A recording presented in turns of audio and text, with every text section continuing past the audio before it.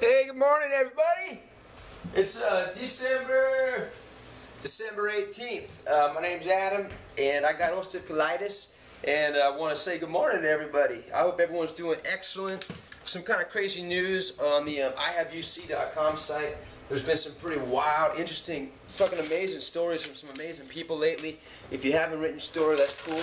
But I'm most excited about the. I, I would consider the newest member to the IHaveUC.com site, and her name's Jaimee, and uh, she's written in some really incredible comments on some other people's um, postings, some other people's stories. She put some really awesome comments down, and I want to just thank her because um, it's just really cool. It's really cool of her to take time and express her thoughts by writing so much stuff down and like throwing herself out there. And what I thought was most amazing was the the feeling of wow, this person's had ulcerative colitis for a long time, has been using Remicade for over 10 years, and it's got an unbelievable outlook on I'm moving forward with my life. So that's uh, the goal of today.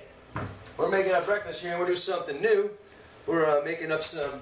Let me show you guys. Let me pour it out. Of the, oh, gotta pour it out of the trash. But uh, making something up for my wife. Pork, cheesy, uh, some sausage. Cheesy part I'm kind of worried about because I can't tell what kind of cheese it is, but I'm gonna eat it anyway because it smells so good. And uh, we picked up some nice bananas here.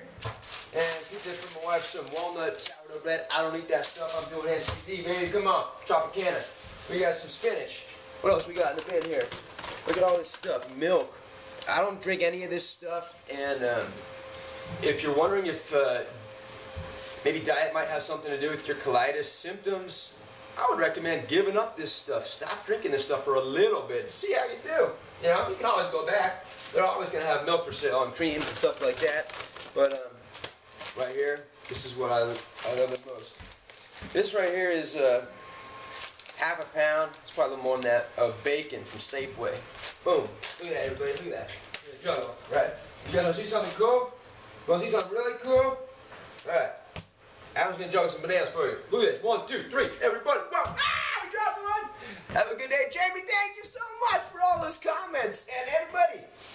Uh, it may have already happened, but uh, any second, sometime today, we're gonna have our 1,000th comment on the website. That's pretty cool. All of us coming together, talking about colitis. Have a good morning.